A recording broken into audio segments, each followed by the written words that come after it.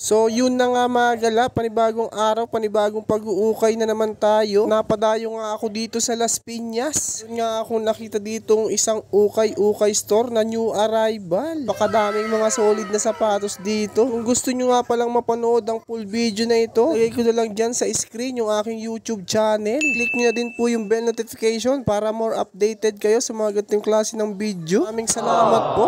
Sheesh!